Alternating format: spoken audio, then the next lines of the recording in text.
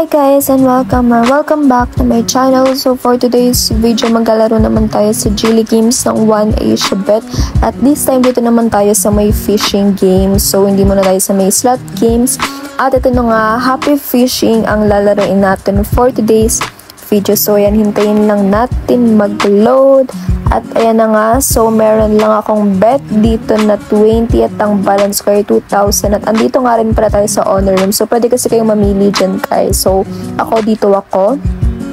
Ayan, so babaan pa natin yung bet dahil nagsisimula pa lang tayo. Mamaya na tayo mag um, magtaas ng bet. So, ayan, tina-target ko lang tong crab. So, kapag pinindit nyo yung aim, guys, um, pipinot, pipinot lang kayo ng kung anong gusto nyo in-target dyan. Tapos, kusa na yan um, babarel. So, kagaya niyan, ba diba? Nagpipindot lang ako dyan, namimili lang ako. Tapos, ayan, kusa na yan guys. Hindi nyo na kailangan pang pindot-pindutin ng paulit-ulit yung mga gusto nyong i-target.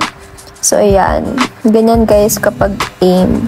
Tapos, kapag auto naman, um, bali, automatic na yan na babaril. So, wala ka nang kailangan pindutin.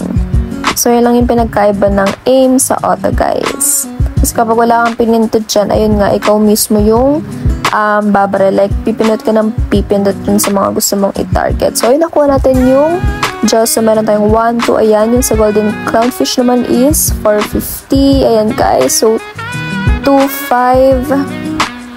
Okay, guys. So, 250. Ayan, talaga nga naman nagpapola ng pera dito kay 1 Asia Bet, guys. And another 2, 5, 550 kumikita niya nasa 3,000 na yung balance natin. So, unti-unti na natin siyang napapalago. Ayan.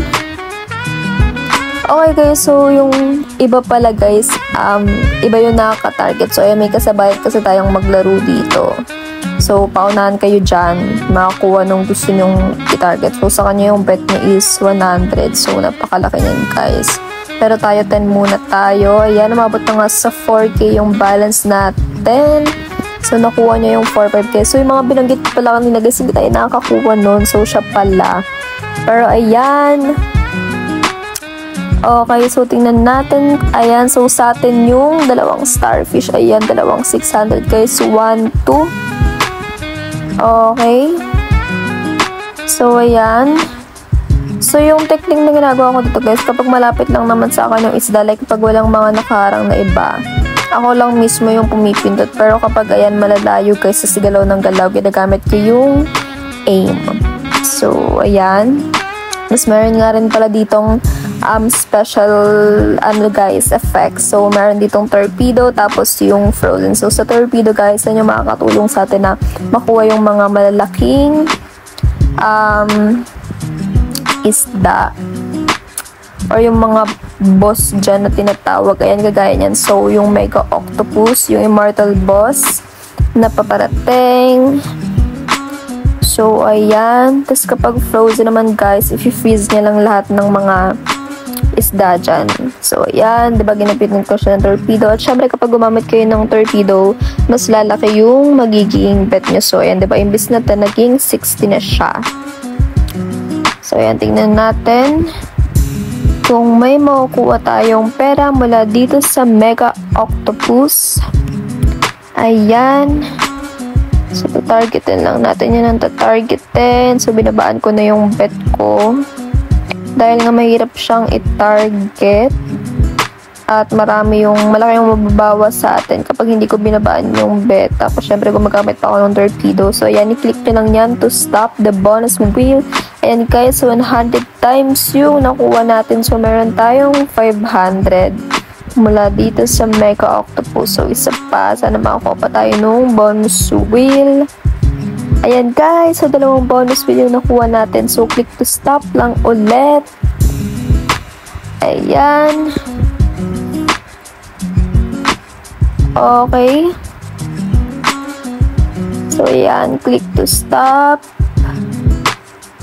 Okay, guys. So, nakuha natin is 500 times. Ayan. So, meron tayong 2,500 mula dito sa bonus wheel ng Mega Octopus. So, ayan. Meron pa tayong isa. So, tingnan natin. Okay. So, 150 times, ayan, meron tayong 750. At ayan guys, kung makikita nyo yung balance natin, mabata siya sa 6,000 na kaninang nasa 2,000 lang. So talaga nga namang napapalago natin yung balance natin dito kay fishing game ng 1 Asia Bet. Ayan. Okay. So, ayan, ginawa ko na ulit na. So, tinaasan ko pa pala. Mas, mas tinaasan ko na yung bet ko. So, nasa 20 na siya. Ayan. Okay. So, ayan, diba nakikita niya may mga kasagbayan akong maglaro at grabe rin yung mga nakukuha nila. Ayan guys, sumabot na sa 8,000. Ayan, dito lang yan sa Happy Fishing ng 1 Asia Bet, guys. Ayan. Okay. So, chill-chill lang muna tayo dito dahil wala pa namang mga isda. So, ayan, paparating pa lang sila. Ayan. So, target natin to. Ayan, so nakuha natin yung shark. Ayan, guys. So, siya yung nakakuha ng 5 times super prize. Yun nasa may taas natin. So, ayan guys, may mortal boss ulit. At this time, yung Joss naman. Ayan yung shark. So, syempre, try nating makakuha dyan. So, ayan, aim pa rin yung gamit ko dito, guys. Okay. Ayan, guys, may nakuha na tayo. 2,004 100. Ayan. At syempre guys, habang tinatarget ko yung Diyos kapag wala akong masyadong makukuha, tumatarget ako ng ibang isda para at least may bumabalik pa rin na pera sa akin at hindi lang puro bawas. Ayan, kung nakikita nyo. So, umabot na nga sa 10,000 yung balance natin. Ayan, guys.